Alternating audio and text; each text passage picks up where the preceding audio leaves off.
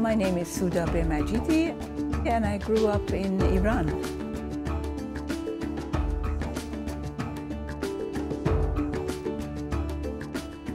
I've been working on the, the turtles. Uh, the first turtle I did is this one. Uh, a turtle trapped in ghost nets. Nowadays I just, whatever I don't want in the studio, like this, the, the top of the, the paint jars, I glue cloth, different uh, dried paints. Resembles our oceans, that lots of uh, unwanted things end up in the oceans and kill the wildlife. So I am creating a little bit of uh, the reality here on the canvas.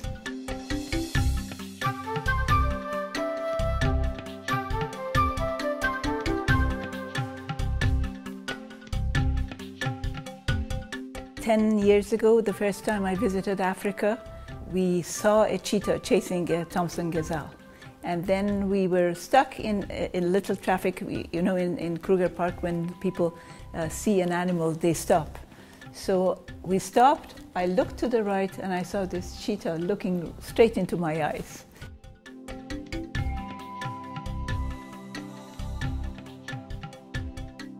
Our eyes were locked to, with, with each other and then ran from behind the car, jumped into the wooded area. That uh, image was really striking.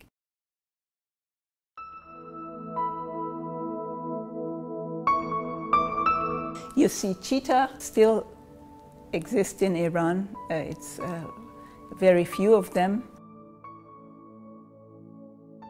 And I was able to uh, produce a, a, group of uh, paintings, several paintings, and I had a show there.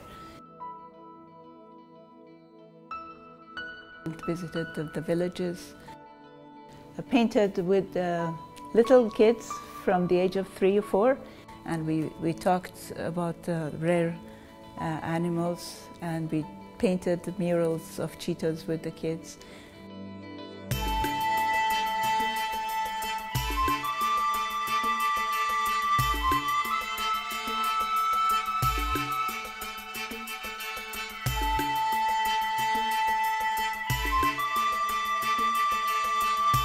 I am going to be at the art show, going to be there and uh, hopefully talk to people. If somebody is interested, uh, I am not going to bombard people with, with stories, but if somebody is uh, interested, definitely I will share the stories with them.